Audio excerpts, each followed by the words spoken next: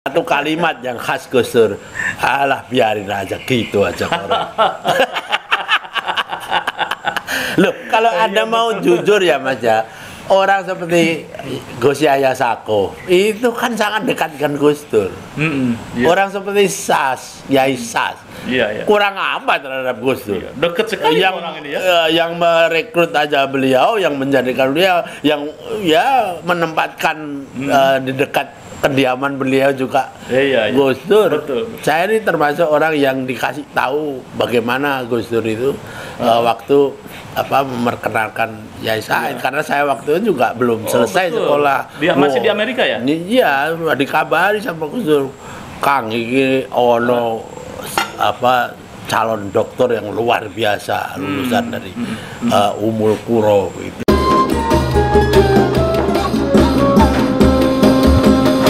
Terus terang ya Mas ini saya bukan karena saya sangat dekat atau sangat menganggap mengapresiasi Ya. Gus Dur.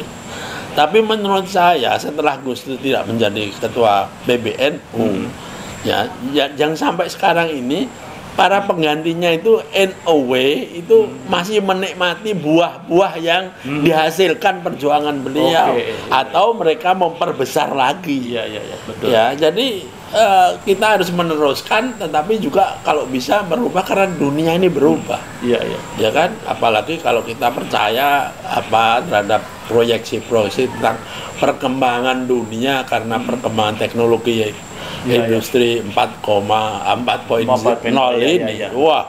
Nah, NU yang sudah mempunyai SDM yang saya sebut sebagai dunia tadi itu, Hmm. mau tidak mau ya harus menyumbangkan itu. Di situ ya pertarungannya yang harus benar-benar iya, dan ya. oleh karena itu maka Digali. posisi NU di dalam membangun Indonesia tetap relevan dan tetap sentral. Iya, iya. Misalnya saja kalau kita sudah bicara tentang gangguan keamanan atau gangguan apa namanya eh, pertahanan apa keamanan nasional Hmm. eh, melawan radikalisme ekstremi, ekstremisme pasti NU akan tetap menjadi salah satu pilar yang kokoh, Iya, iya, ya kan? Betul. Nah, kemudian sumber daya manusia yang tadi yang jumlahnya itu sudah melebihi negara-negara kecil. Iya. Ya, coba bayangkan kalau mereka itu kelas menengah, rata-rata kelas menengah. Iya.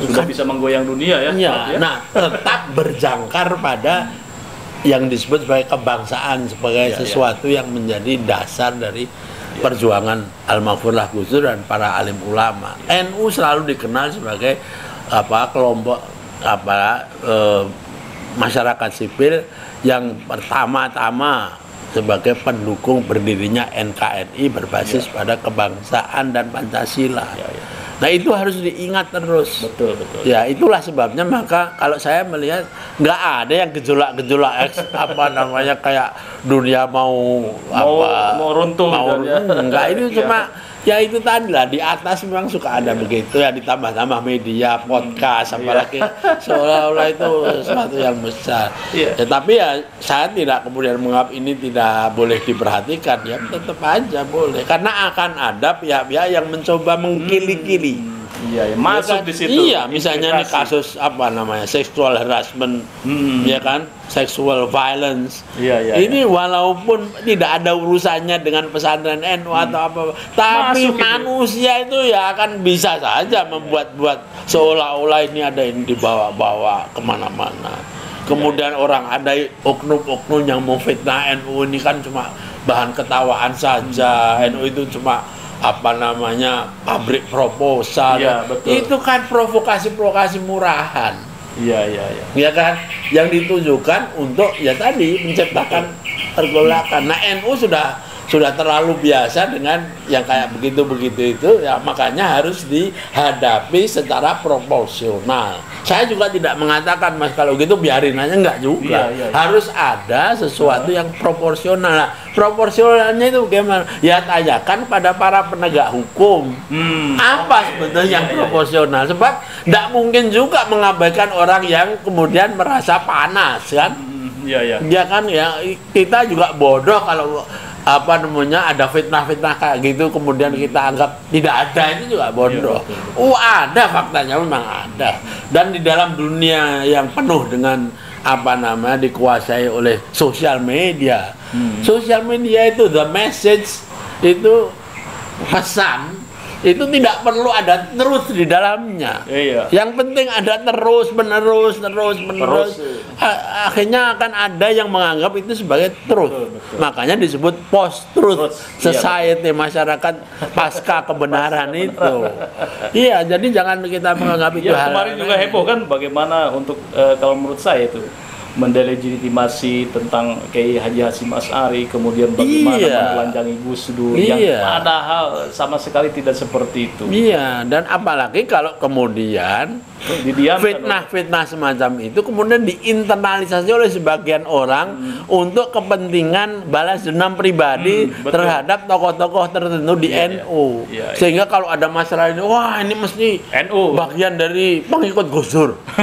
Iya, Oh, ada sedikit masalah ini Gus Dur. Iya, ini Mu'tazilah ini mesti ada Dur. urusannya dengan Gus Dur. Ini liberal Gus Dur. Jadi Hmm, kayak ada semacam pelepasan sentimen, pelepasan frustrasi karena ya mungkin ada masalah secara pribadi, secara psikologis atau Iya, iya, iya. apa pun saya nggak tahu karena saya tidak eh, dalam bidang saya untuk menganalisis. Tapi it is uh, too simple ya, too simplistic kalau menganggap hal itu cuma angin lalu. Hmm. Kita harus ada bagian dari NU, bagian Iya, iya. dari komunitas NU yang care terhadap Betul, bangsa. ya.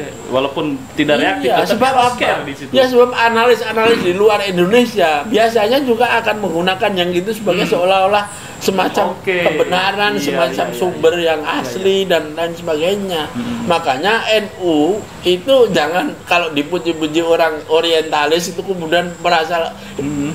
hebat begitu. Iya, Sebab ada juga hidden agenda. Ah, Ya, orang saya tidak mengatakan bahwa orang harus selalu curiga terhadap orienta eh, para Orientalis, ya? orientalis ora- atau Indonesianis, tapi memang ada apa namanya analisis seperti itu bahwa memang ada berbagai macam cara Agenda, ya, ya, untuk melakukan manipulasi menggunakan ilmu pengetahuan, menggunakan Ya, ya. hal-hal seperti seperti yang ditulis oleh eh, seorang eh, cendekiawan dan seorang Hmm, eh, pakar namanya Edward Said yang bukunya Orientalisme itu Iya, iya. tidak berarti bahwa apa yang dikatakan Edward Said itu semuanya benar, tetapi kita kan berhak untuk apa Iya, iya. namanya eh, memperhatikan karena memang pernah dalam dalam satu apa episode kesejarahan tertentu Iya. kolonialisme menggunakan expert-expert yang ahli tentang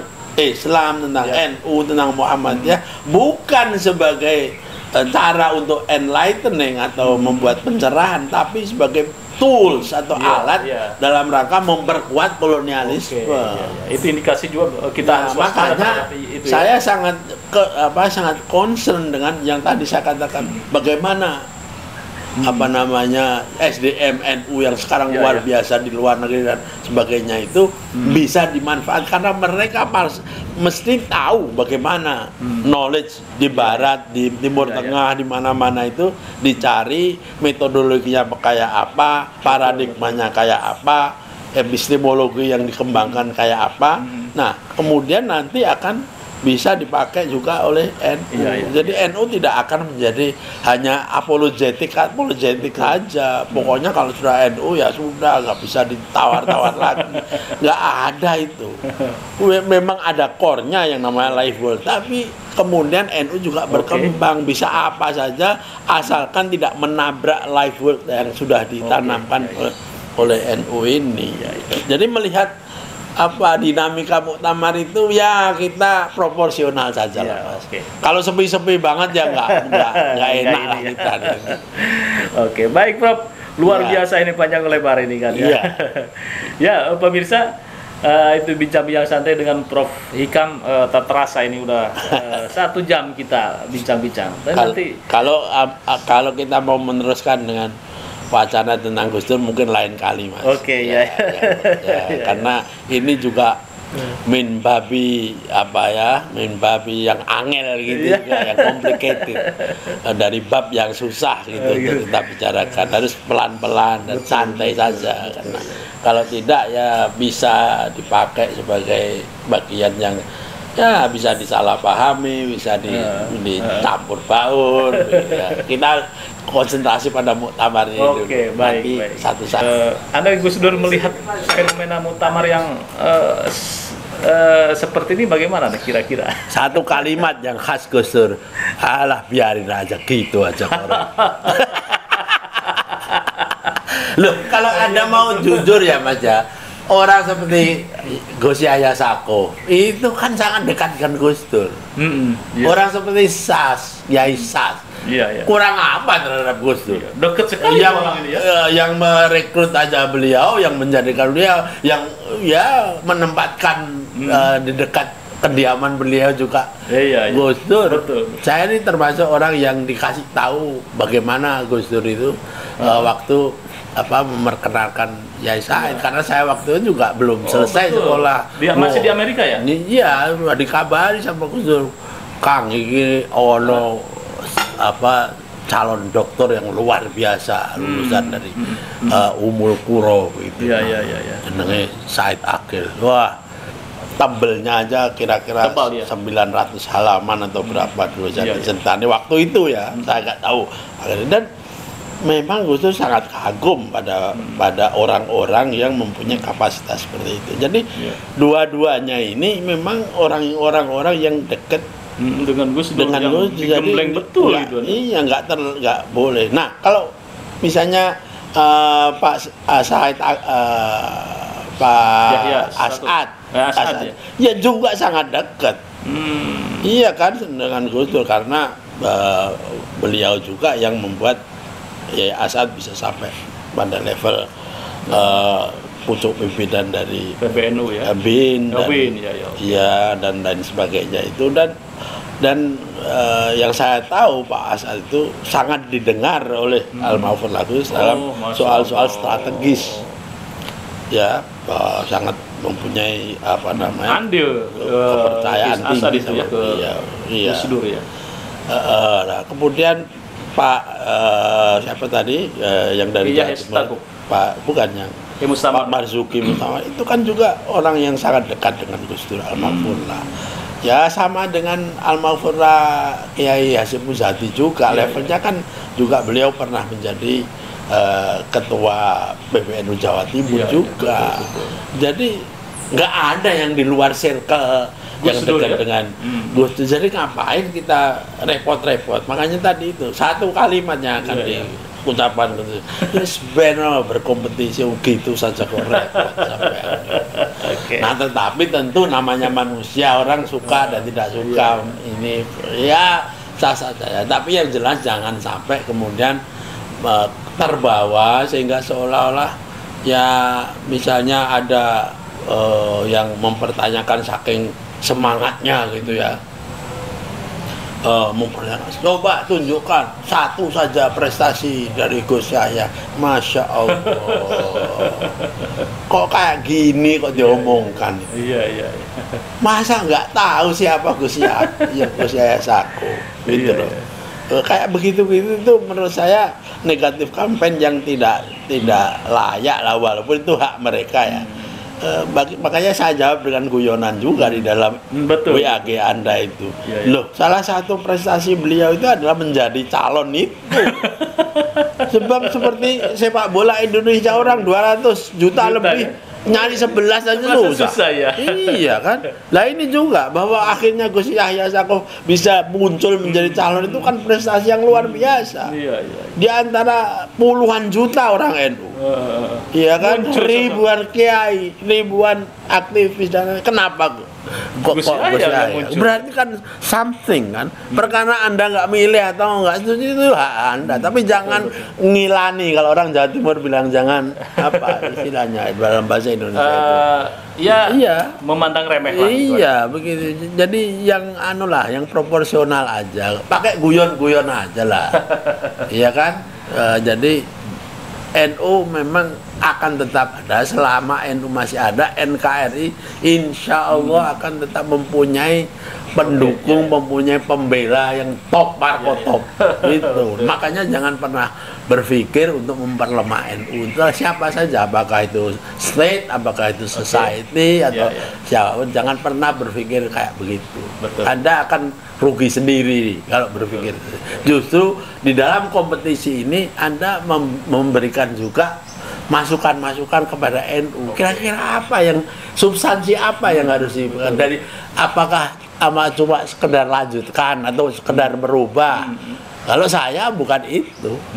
Dia kan? Me- menghadapi eh, gelombang dari perkembangan revolusi industri yang keempat dan masyarakat yang nomor lima ini Indonesia harus mempunyai jawaban yang juga berpijak pada keluhuran dari nilai-nilai Indonesia. Sebab kalau Anda belajar tentang Society 5.0 yang dimunculkan oleh negara dan masyarakat Jepang itu khas dengan tantangan yang dihadapi Jepang. Oke. Misalnya saja apa? Misalnya fakta bahwa pada tahun 2050 nanti Iya, iya. masyarakat Jepang itu rata-rata umurnya di atas 60. Betul. Iya, iya. iya. Nah, itu kan bukan problem konkret Indonesia. Wong iya. Indonesia tahun segitu itu Iya. rata-rata umurnya 30 35. Heeh, heeh. Jadi tantangannya beda. Mencoba menciptakan satu model masyarakat Hmm. ya, yang bisa apa menyatukan antara kemajuan industri keempat dengan masyarakat yang semakin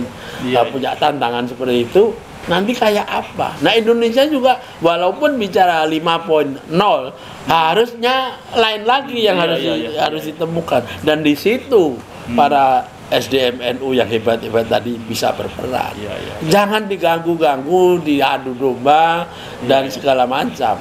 Ya, malah harusnya negara ini berterima kasih dengan memberikan apa namanya pemikiran-pemikiran juga masukan NU itu kira-kira menyumbangkan apalagi yang substantif buat negara.